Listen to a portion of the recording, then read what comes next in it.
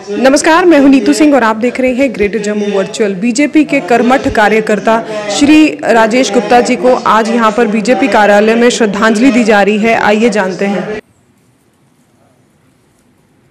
करण सिंह जी गोपाल जी और राजेश जी भी आ जाए। आठ में वो जिलाध्यक्ष थे जब बम्बा बोले का आंदोलन हुआ तो मैं मंडल अध्यक्ष था। तिरसठ दिन वो आंदोलन चला मुझे लगता है किसी दिन बजे के बाद उनका फ़ोन आया। सुबह पाँच बजे उनका फ़ोन आता था। इसमें उनको विकास विकास पुरुष के नाम से जाना जाता है। भारतीय जनता पार्टी की ओर से। से एक नेता को निकलना चाहिए, वैसे जन आंदोलन लेकर वो निकले हुए थे। अब मेरा निवेदन, हमारी बहन पूर्व में उप महापौर और वर्तमान में स्पोक्स पर्सन पूर्णिमा जी से है कि वो भी आए। चंद शब्दों में अपनी श्रद्धांजलि पेश करें। छोटी उम्र में, जिसका मुझे लगता है अभी जीवन की शुरुआत हुई।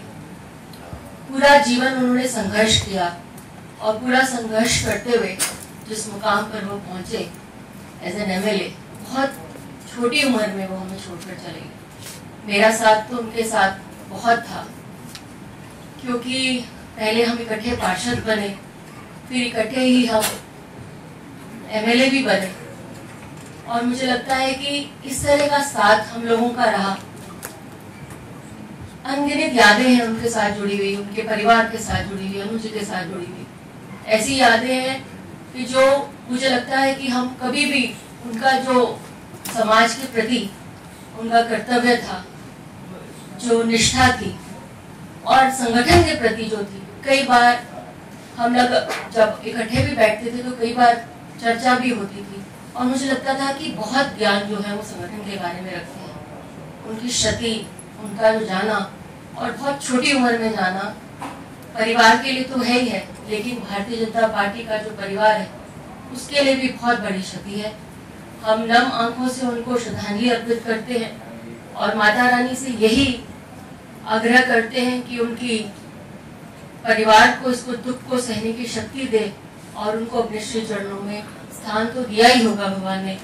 मैं, मुझे लगता है आने वाले समय के अंदर भी उनको हमेशा से हम इन्हीं, उनकी यादों को, उनकी अच्छी यादों को हम अपने संजो कर जो है, उसको उनके बारे में चिंतित, उनके बारे में हम बात करते रहे। श्रद्धांजलि दे रहे हैं, श्रद्धांजलि के साथ साथ जितने भी प्रवक्ता बोले, उन्होंने सबने उनके जीवनी के बारे में, उन्होंने कैसे काम किया, उसके बारे में बताया।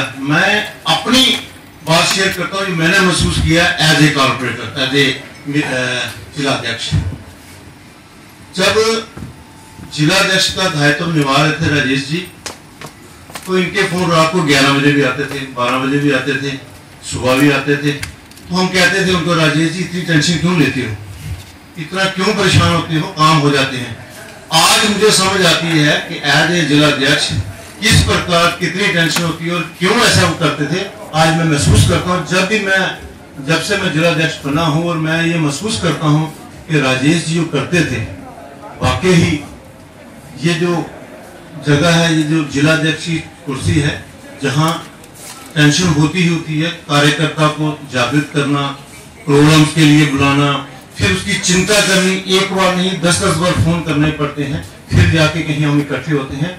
और इसकी मिसाल मैं हाल ही दो दिन देता हूँ कि आज यही प्रोग्राम था और मैं देख रहा था पीछे की कुर्सियाँ हमारी खाली थी तो मुझे टेंशन हो गई कि ये कैसे बनेगी।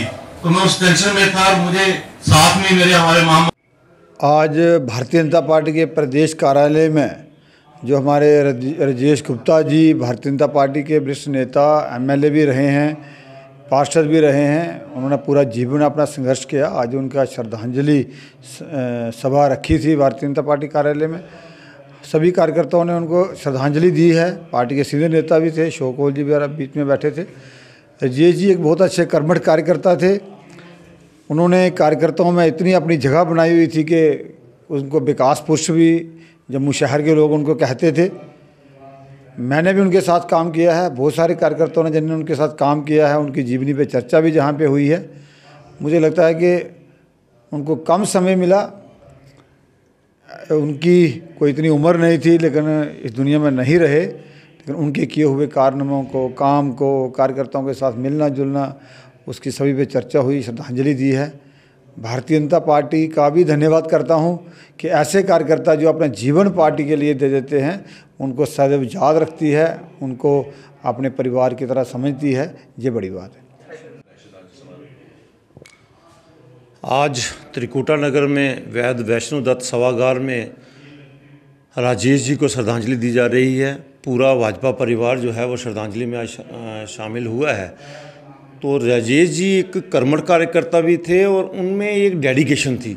मैं जिलाध्यक्ष होने के नाते पे ये आज समझ सकता हूँ कि वो किस प्रकार बात करते थे और क्यों रात को 11 बजे या सुबह 5 बजे उठकर कार्यकर्ता को फ़ोन करते थे? आज मेरी समझ में आता है कि कार्यकर्ता को तैयार करना प्रोग्राम्स के लिए और उसको बार बार बोलना ताकि वो भूल ना जाए, ऐसी डेडिकेशन थी उनमें।